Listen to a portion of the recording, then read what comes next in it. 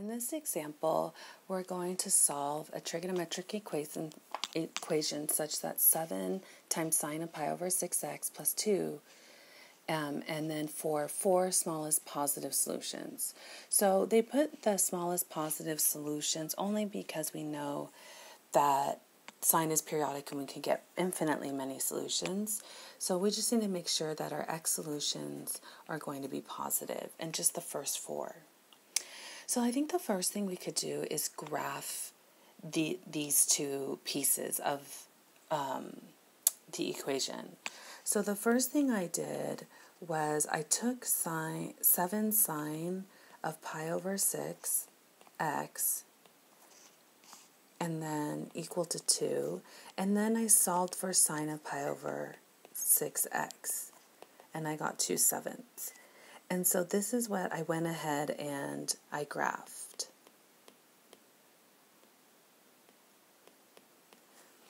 So I went ahead and graphed this and I got these four solutions right here, right here, right here, and right here. And I think I'll call this solution 1, solution 2, solution 3, and solution 4. And just to clarify, the blue line here is y equal to sevenths, and the curve is the sine of pi over 6x. So I graphed, this is a tool that you can use for everything, is if you have an equation you want to solve, you can just graph each side of the equation and then find the intersection points. And I did this because I wanted you to see where they were. So you could see that um, the first one is between 0 and 1. The second one is between 5 and 6. The third one is between um, 12 and 13. And the last one is between 17 and 18. And we could see that um, the one period of sine is from 0 to 12, and then a new period starts at 12. So you could see that 1 and 3 are going to be identical, and it's just like one revolution around. So the first thing we'll, we'll want to do is work with that angle, right? And let theta be equal to pi over 6x. This is the best thing to do. Because if you do, then you have um, sine of theta equal to 2 sevenths. And then when you solve, you get theta equal to inverse sine of 2 sevenths. This is great, and we'll keep in the back of our mind um, the pi over 6x. And remember that this, on a side note, that if theta is equal to pi over 6x, this implies that x is equal to 6 over pi times theta, right? So we'll just keep that in the back of our mind. So since we solve for theta, I would stop there. We're going to put it in the calculator in a second. But we do see that the next solution, so this would be um, almost solution one, right? We just have to we uh, put it in terms of x in just a minute. But for now, this solution theta is going to be like our first solution we get in that first quadrant. So the where else is sine going to be positive, right? So if I go over here, you know, I always like writing a little side margin notes. Remember that all students take calculus. So this theta is going to be, I'm just making this up, so theta is somewhere in this first quadrant. Where else is sine positive? Well, sine is positive in the second quadrant. So now I need to find um, the angle such that theta is the reference angle in the second quadrant. Well, if this is um, 0, pi over 2, and pi, I can easily find it by taking pi minus theta. So for the next solution, I would have pi minus theta. No, that didn't. I would have theta minus pi, meaning that I would just take the inverse of sine of 2 sevenths minus pi. So this will give us our um,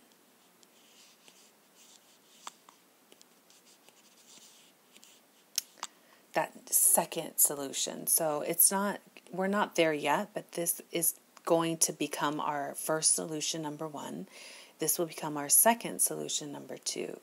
Now, these are the key ones because now the first solution here, let me get a highlighter, is going to correspond with the angle um, number three. Because why? Well, again, don't forget the period. The period goes from 0 to 12, and we start a whole revolution. So that's perfect. And with solution number two, that's in the next period as well. So 2 would relate to 4. So all we have to add is 2 pi to these solutions. Okay, so let's go ahead and begin that process. So essentially, um, let's find the solutions. We're ready to go. So for the first solution, number one, is going to be theta equal to the inverse sine of 2 sevenths, but theta is equal to pi over 6x. So this means that um, pi over 6x is equal to the inverse sine of 2 sevenths, and x will be equal to inverse sine of 2 sevenths times 6 over pi. Okay, so um, for angle number 2, theta is equal to inverse sine of 2 sevenths minus pi but again, pi over 6, x is equal to the inverse sine of 2 sevenths minus pi. So this means that x will be equal to inverse sine of 2 sevenths minus pi all times 6 over pi. Great. So we're almost done. So the third angle, again, remember, don't forget that angle 1 is going to relate to angle 3, except one revolution over.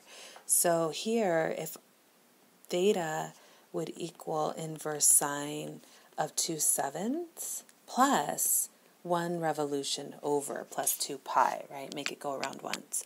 But theta is equal to, again, pi over 6x, which is inverse sine of 2 sevenths plus 2 pi which means x is going to equal the inverse sine of 2 sevenths plus 2 pi times 6 over pi.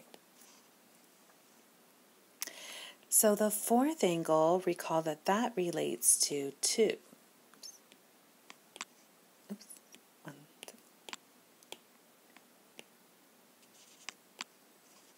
And that is one revolution over. So remember that theta would be equal to inverse sine of 2 sevenths minus pi plus a 2 pi. But remember that theta is equal to pi over 6x, which is equal to the inverse sine of 2 sevenths minus pi plus 2 pi. And then x, this implies x is equal to the inverse sine of 2 sevenths minus pi plus 2 pi all times 6 over pi. Now this seems like a lot, but it's not. I encourage you just to use, put it in the calculator and edit your calculator. And so when we get these um, angles from our calculator, um, this will be the first four positive solutions. So let's go back to the calculator and instead of graphing, we'll go ahead and put these values in 1, 2, 3, and 4. Number 1, which gives us inverse sine of 2 sevenths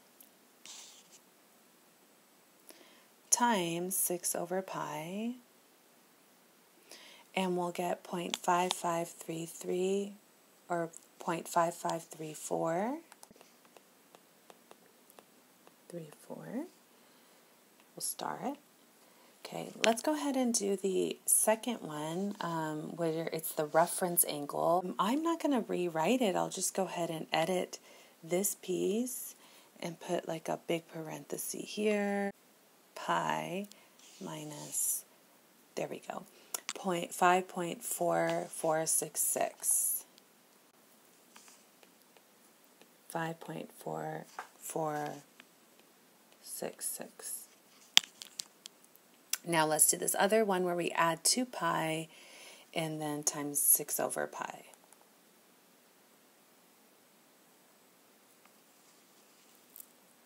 So let's edit this one. So this will be 2 pi. I'll change the subtraction to plus, and I get 12.5534.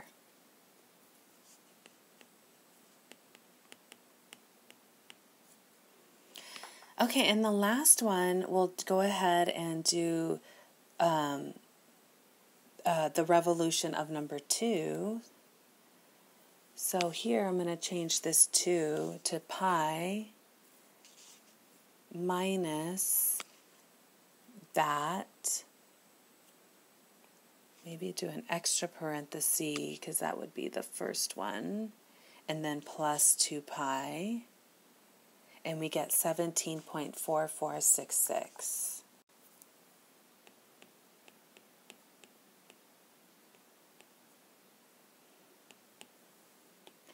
Okay, so here are the angles.